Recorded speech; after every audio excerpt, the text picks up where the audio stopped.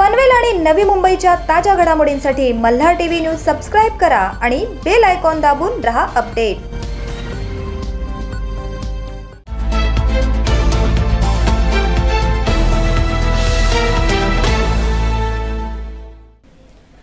प्रकल्पग्रस्तांच्या भूखंडासंदर्भात काँग्रेसच्या वतीने मुख्यमंत्री देवेंद्र फडणवीस यांच्यावर बिनबुडाचे आरोप करण्यात आले होते.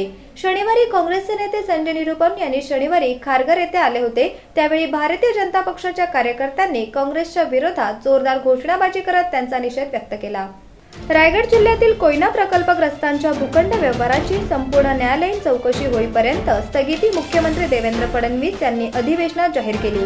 परंतु काँग्रेसकडे कोणतेही मुद्दे शिल्लक न राहिल्याने काँग्रेस मुख्यमंत्री देवेंद्र फडणवीस आणि सरकारवर बिनबुडाचे आरोप करीत आहेत शनिवारी काँग्रेसचे नेते संजय निरुपण हे खारघर येथे आले असता भारतीय जनता पक्षाच्या कार्यकर्त्यांनी आणि खारघरच्या जनतेने काळे झेंडे दाखवत काँग्रेसवाले चले जाव अशी घोषणाबाजी करत त्यांचा निषेध व्यक्त केला.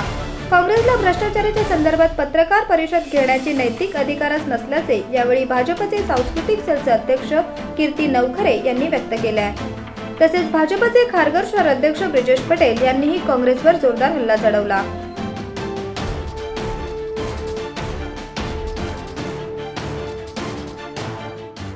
भाजपा ने सभी कार्यकर्ता और पूरे खागर की प्रजा उनको निषेध किया है आज। आज सब मिलके सब सूत्रचार के साथ हमका, उनका जो विरोध किया गया है, जो भी घटना घटी है तो उसमें अपने देवेंद्र फडणवीस साहब ने न्यायालय, न्यायालयिक तपास करने के लिए आदेश दिए हुए उनसे ज़्यादा क्या कर सकती है? ये सरकार इतनी स्पष्ट है, इतनी पारदर्शक है, कोई भी तपास करनी है, सीएम तैयार है। अपने Devendra Fadnavis clean chit minister है। उसने जो भी करना है, आप हमारे सामने आओ। आप जो भी तपास करनी है, बोलो।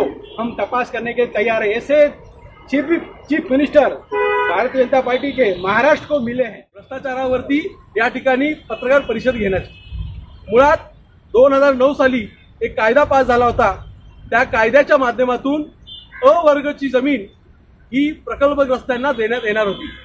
साडेसातशे कोयना प्रकल्पग्रस्तांपैकी तीनशे लोकांना पूर्ण जमिनीचं वाटप झालेलं आहे अ त्याच्यामध्ये एअरपोर्टच्या जवळची असू द्या जेएनपीटीच्या जवळची जमीन असू द्या. तर अशा अ वर्गची जमिनीचे वाटप करण्यात आले होते.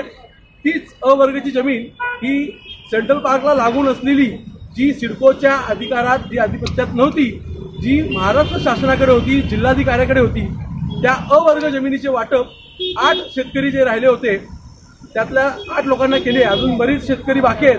त्यांनाही ते वेळेने यो- योग्य वेळी वाटप होणार आहे. ते वाटप या काळात झालेलं आहे. ह्याच्या अगोदर सहाशे लोकांना याच पद्धतीने वाटप झालेलं आहे. म्हणून काँग्रेसचे माजी मुख्यमंत्री अशोक चव्हाण हे कुठल्याच विषयात बोलत नाहीत? कारण त्यांना तथ्य माहिती आहे जे झालंय ते कायद्याने झालेलं आहे. परंतु काँग्रेसकडे आता कुठलेच मुद्दे बाकी नाही आहेत लोकांसमोर जायला तोंडच नाही आहे त्यांना. येणारं अधिवेशन चालू न देण्याकरता हा प्लॅनिंग करून काँग्रेसवाल्यांनी या ठिकाणी भूखंड घोटाळा लोकांच्या नजरेत भासवण्याचा प्रयत्न केलाय.